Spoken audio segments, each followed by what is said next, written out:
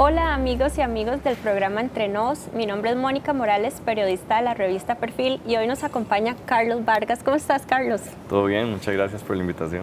Gracias a vos. Carlos es eh, propietario de una mueblería que queda por aquí cerquísima de nuestra empresa en Tibás, se llama Estudio Mueblería Premium. Correcto. Y hoy nos trae las tendencias, las últimas tendencias de decoración para diferentes espacios de nuestro hogar, con recomendaciones muy útiles de lo que ves día a día en la mueblería. Carlos, ¿qué está de moda? ¿Cuál es la tendencia en los espacios de las habitaciones? En habitaciones. Eh, bueno, ahorita hay, varias y hay cosas que tal vez antes no se veían. Hace muchísimos años estaba la tendencia de las camas artesanadas con maderas y labrados. Sí, sí, sí. Yo tuve de esas. Sí, de hecho, se ha dado mucho en muchísimos lugares. Ahora hay, hay como nuevas tendencias. Una que es como la que yo siento que a la gente le está gustando muchísimo es la cama japonesa. Eh, que es muy minimalista. Es muy minimalista, es bajita, tiene como aleros y cuando entras a un cuarto que tiene ese tipo de cama, como que sí es una impresión porque es algo muy diferente.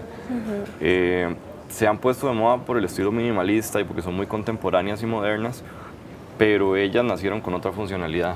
La cama japonesa, en principio, la idea de la cama era eh, brindar confort, eh, como un relax. De hecho, los cuartos estilo japonés no tienen prácticamente nada más que la cama.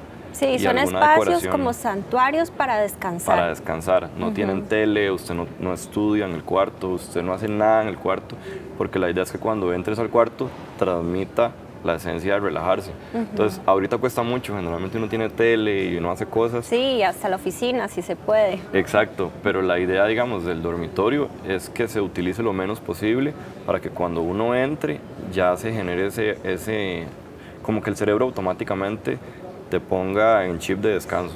De y ve qué interesante porque al final el tema de decoración es también un tema de bienestar y sentirnos mejor. Muy bonito, sí. Y esto va con el tema de la energía de ellos, todo lo que es Feng Shui y todo, que te acomodas de cierta forma. ¿Y estas camas se pueden adquirir en el país también?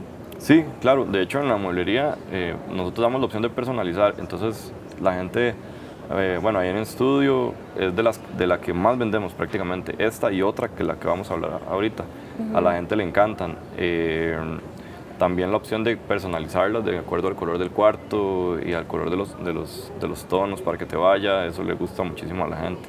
Me hablabas que ya esas camas de respaldares con maderas, artesanadas y todo, ya eso no. ¿Cuál es la tendencia ahora, más de la cama japonesa?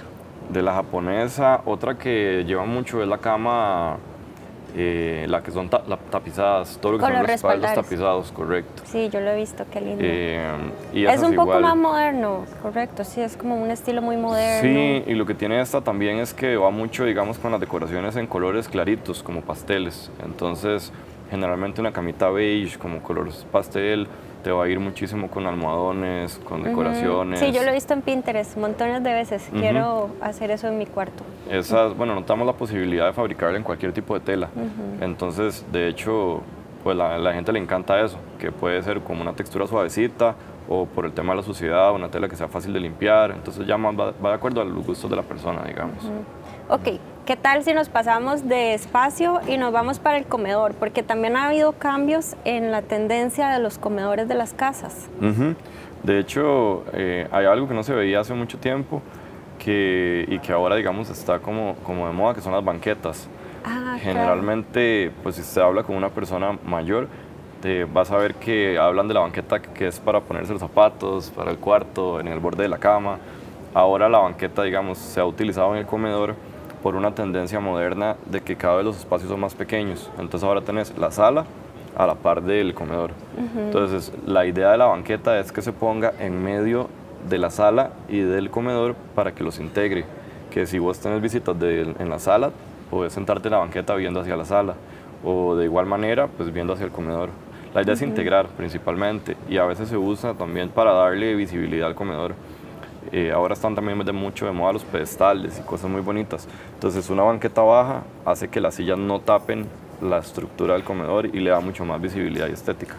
Eso reemplaza como las sillas de, de un lado del comedor. Correcto.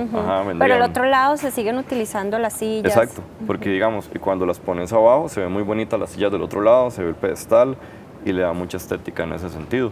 Y de igual manera la puedes utilizar para sentarte hacia ambos lados e integrar los dos espacios. Ok, y en las salas, ¿qué tenemos en tendencia? Bueno, quiero hacer un paréntesis porque estos muebles son de Estudio Mueblería Premium. Sí, más bien muchísimas gracias porque tenemos un set divino, eh, gracias al apoyo que ustedes nos han dado. Sí, de hecho, bueno, las, las butacas, creo que en salas es lo que tengo que recalcar, eh, que se están vendiendo muchísimo, en colores personalizados, en combinaciones, que de hecho lo importante de la butaca es que hay veces de cada vez los espacios son más pequeños. Entonces ahora se usa mucho esta combinación, un silloncito de dos con una butaca y le va a dar una elegancia, ya no es la sala tan grande. Si se tiene el espacio, generalmente se llevan el sillón de tres y el de dos. Pero si no, eh, generalmente las, las butaquitas que antes se usaban para la habitación, antes el concepto de la butaca era eh, como para sentarse, para leer, para ponerlas en una esquina. Ahora han salido a las salas y se han convertido en parte de la decoración de la casa y parte, digamos, integral ¿Y qué tal eh, los colores, estampados? ¿Cuáles son las tendencias en, en telas? Principalmente lo que, lo que es lino, digamos, eh, linos o dependiendo, digamos, si tienen mascotas o así, telas lavables.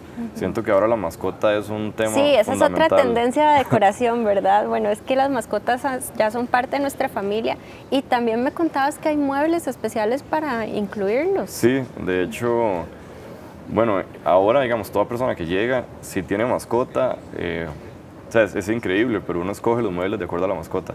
La tela de acuerdo a la mascota, hay telas que son impermeables, Inclusive eh, estábamos, bueno, las que te enseñaba, ahora estábamos viendo unas fuera de cámara que son como unas mesitas laterales, pero aquí abajo tienen la camita del perro. O, y se hacen a la medida, dependiendo del, tamaño de, la mascota, y, para gatos también. correcto.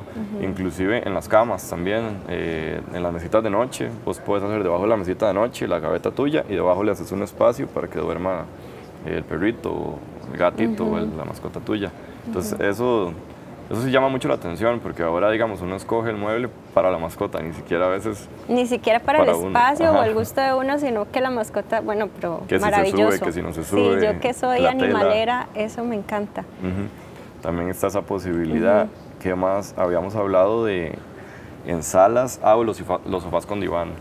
Porque ahora, digamos, en los espacios pequeños también, generalmente solo hay una sala. Antes estaba la sala de televisión y la sala de, de visitas. Correcto. Sí, eso ahora, muchas veces es complicado. Es entonces, una sala multiuso ahora. Correcto, se da mucho la tendencia de los divanes, que son las piecitas que salen para que vos pongas los pies. Eh, eh, ¿Es lo mismo que los famosos eh, sofás en L o, es, o hay alguna diferencia? Lo que pasa es que el L puede ser totalmente corrido. El diván es pues una pieza que sale simplemente para alargar el sofá, que puede ser pegada o separada en forma de un ottoman que vos lo mueves y lo acomodas para poner los pies o así. La idea es convertir la sala en algo más, no, no, tan rígido, sino en algo más que te puedas acostar, que te puedas... Para ver televisión, leer. Entonces que la sala sea tanto para atender visitas o para vos cuando estás solo poder relajarte y ver una película o así.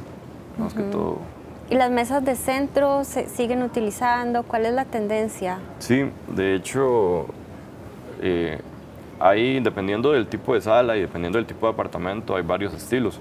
Eh, como estas, pues muy modernas, muy contemporáneas, dan una, este, son como más estéticas y pues funcionales en el sentido de ponerles decoración o cosillas así. Pero ahora, digamos, la gente está jugando mucho con eso. Eh, hay gente que le gusta los juegos de mesa, entonces nos piden mesitas de estilo japonés que tienen banquitos que se meten y se salen. Eh, son un poco más grandes, entonces cuando llega gente, pues tienen eso ahí, o si vos coleccionas revistas o lo que sea, que tengan un espacio abajo para Las revistas perfil.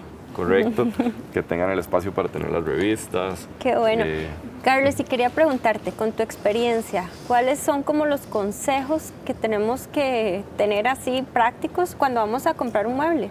A comprar muebles. Yo, pues en lo que he visto, bueno, el primero es demasiado obvio para mucha gente, pero sí les recomiendo como que, eh, o sea, lo he visto que mucha gente no lo hace, que es medir los espacios. Muchas veces llega gente y dice, uy, me encanta este mueble, me encanta esto, pero no sé si me cabe. Entonces la primera recomendación es siempre, antes de ir a comprar muebles, medir los espacios.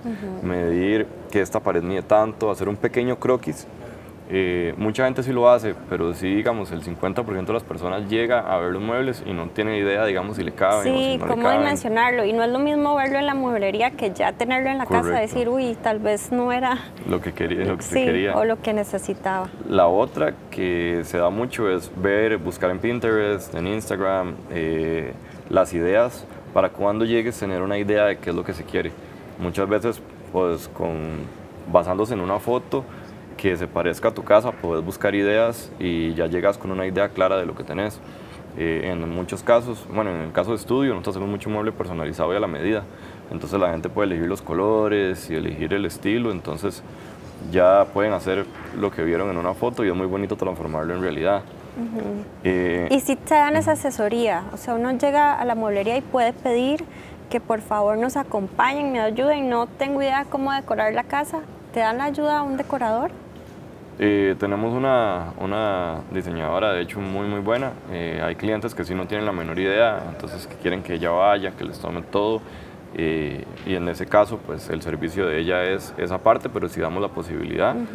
Pero de igual manera en tienda, nosotros vemos gente todos los días que quiere hacer. Sí, ya tienen una gran experiencia. Demasiadas cosas, entonces ahí pues les podemos dar tips.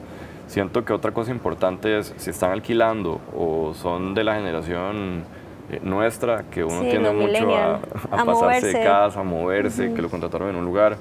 O nada más, si la casa no es tuya, muebles neutros que le sirvan para otros lugares. Porque si pasa mucho que te compraste un mueble porque te va demasiado con, con, con, el lugar donde estás viviendo ahorita y luego ya no calza. Entonces sí es importante que traten de buscar muebles, no solo en eso, sino que tal vez uno hizo un mueble especial para una esquina que tenía. Ahora, si es tu casa ya, ya comprada y todo, no hay ningún problema. Pero si tiendes a moverte o a, cambiarte de vez en cuando, muebles que te puedan servir en cualquier lado. Más neutros. Más neutros. Carlos, te agradezco muchísimo estos consejos muy útiles. Esperamos que de verdad les sirvan a muchos de nuestras de las personas que siguen el programa Entre Nos. Y de agradecer a la Mueblería Estudio Premium que de verdad nos ha apoyado muchísimo para hacer posible este programa. Muchas, gracias. Nos vemos.